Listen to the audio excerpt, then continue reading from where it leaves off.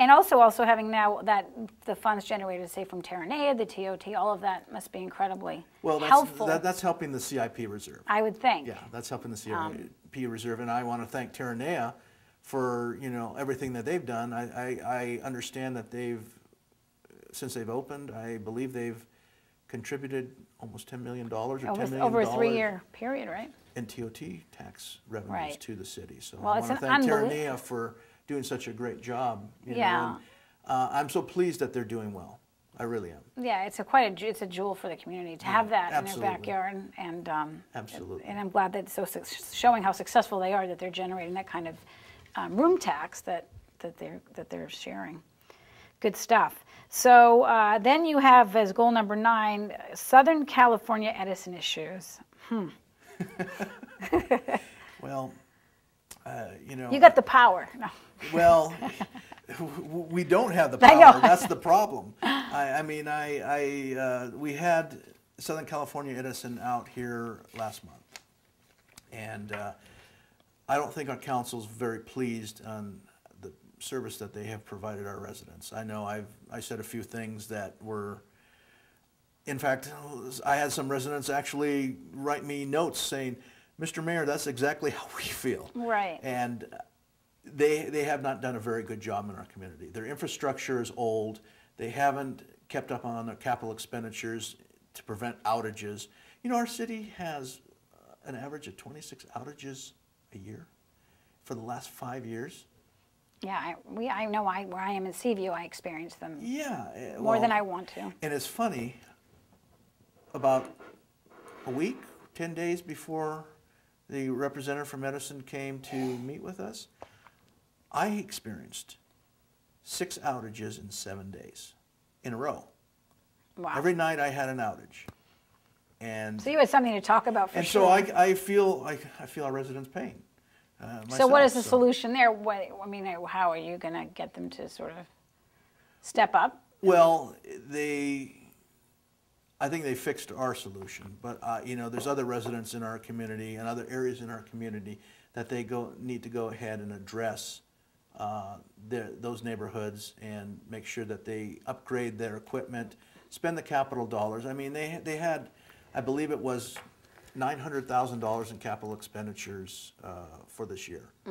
Well, for, I don't know, they're what, a forty billion dollar company? I mean, nine hundred thousand dollars in our community is not a lot of infrastructure that they're upgrading. And so I, you know, encourage, encourage the us- representative to tell his bosses that, look, I think you guys need to step up the plate a little bit more in RPV. I know that some of the other peninsula cities are not happy as well with, with Edison service. So hopefully, since we don't have someone here from Edison to sort of give us their end of it, I'm hoping that they are at least saying they're going to be listening and, and moving forward. Well, I, I think, um, you know, they're working with city staff uh, even more so now as a result of our meeting to try to address some of these issues. The other issue we have, Liz, is that the, you know, the fires. Um, you know, and uh, some of those are, have been, you know, attributed to The power to, lines. to power lines, and so that's another issue that we sent a clear message to them is that we don't want to have any issues with uh, with fires either due to power lines and, and that kind of Mm-hmm. right now, we're, we're in the heat wave and it's hot, and hopefully, I don't know what you've been hearing in terms of uh, how the, um, the power's been. I don't know if I haven't heard too much, but I, I haven't gotten too many emails on power outages. I know, I, you know, I I haven't experienced any, but that doesn't. Doesn't mean they're not going to happen not- tomorrow. Not over I know, I know. And uh, when, since you mentioned that, you get a lot of emails. Do you get a lot of communication from um, the residents about? I mean, do you hear a lot from them? Yeah, I get probably a few hundred emails a week from residents. Wow, Yeah. you're busy between working full time and full time meetings, and we really appreciate it. Well, since we're still in the thick of summer, I think we hit all ten goals, didn't we? Did we miss anything? Did I Uh, miss the some? system trail, Oh, uh, the, the city trail Oh, enhancement. oh yeah, that's that's really important because And that- and as someone had- that walks the trails a lot, I do. Yeah, and we had, we had, uh, we had um, a meeting on that a few months ago.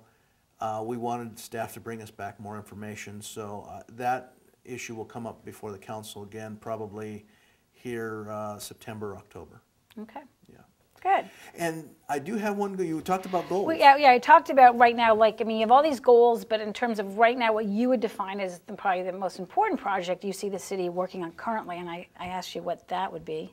Well, I think San Ramon is uh, very important. We, we have to find a way to address that for a number of reasons. Not only is it uh, an, um, a situation that is going to under could undermine the switchbacks in one of our main arteries on PV Drive East, but we do have the time issue that we need to go ahead and get funding so we can. We're not in jeopardy of losing our, our, our state grant. Right. Yeah.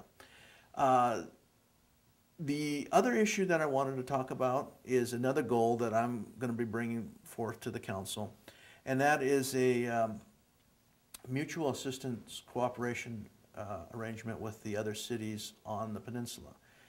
Uh, This is something that was um, as a result of me seeing some photo, some um, video from the Japan uh, tsunami. tsunami. And I really think that our whole peninsula needs to be prepared if we have a massive earthquake, you know, out in the San Andreas, and that triggers some type of, uh, you know, tsunami or something like that.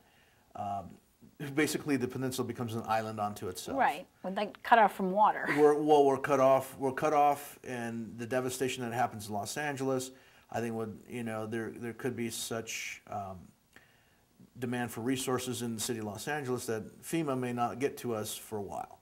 And so we have to look at trying to be self-sustaining in some way, um, if such a disaster were to befall us. And some of the things that we would be looking at in working with the other cities, because I think each city has some type of uh, emergency preparedness. I know we have emergency preparedness committee here in the city of Rancho Palos Verdes. I know that the city of uh, Palos Verdes Estates has a very good uh, emergency preparedness program. But we would, we would work with, uh, in preparation with American Red Cross and our Area G Disaster Coordinator.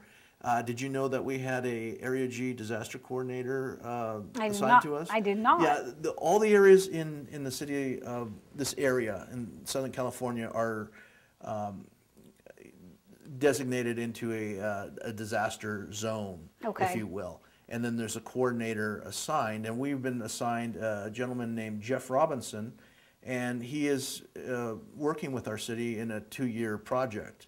Oh, great. on- Well, we should have him on our. PV City Talk. Sure. Absolutely. Sure, and I think he's working very much with uh, our city staff. Okay. But it would be in, co- in conversations with the American Red Cross and the uh, this Area G disaster coordinator to just the basics of what we need to, to do. We're, we're not going to try to recreate the wheel. Right.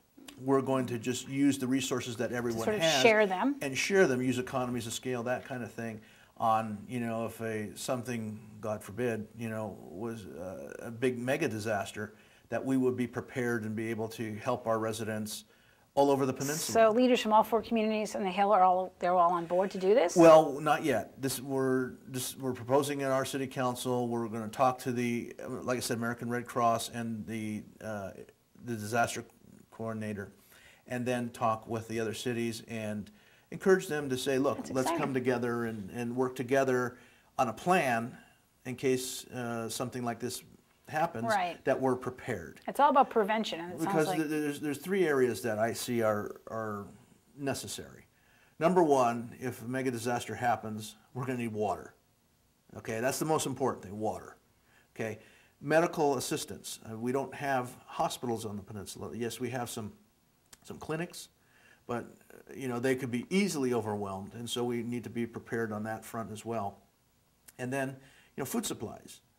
I mean, uh, if we had all of our residents here at one time, which is like a hundred thousand, you know, on the whole peninsula, um, we would, well, maybe it's not that high, maybe it's about seventy thousand. Right. We would have to deal with maybe perhaps being cut off for a week or Right. ten days, something like that.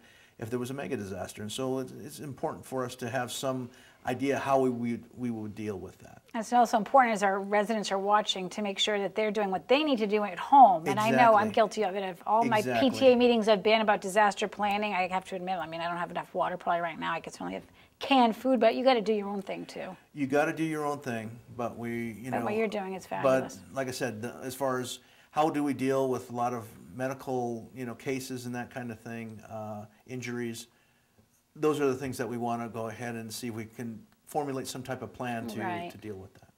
I'm surprised actually. I thought maybe something like this would already been in place, but I guess it's not. So this is great that you're making that initiative. There's no time like the present. No time like the present. Well, keep us posted on that, and once you meet, and uh, that would be uh, really exciting to see. And also talk to the Area G coordinator, who is not just for RPV. You're saying is in charge of all the communities on the hill.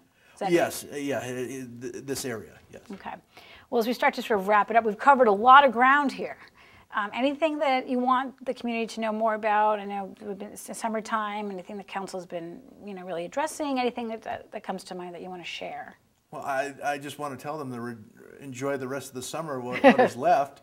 Uh, we're, we're having some, some hot weather right now and, you know, and enjoy, enjoy it while it's, while it's here and All right. hopefully some cooler weather. will I asked you if you got to take any summer vacation with your family, but someone has to be working. No, no. The mayor I- never gets, the mayor's always working. This year, I, I have not taken any vacation time. Okay. Yeah. Well, um, thank you for being here as always, and uh, you give us such helpful information, and we'll have you back uh, when fall starts, and you can give us an update. Okay. Great, Look forward to it. All right, And, thank- and thanks and welcome back. Thank you. It's great to be back home here. That's going to do it for this edition of RPV City Talk. I'm Liz Brown Swanson here with the mayor. Thanks for joining us. See you next time.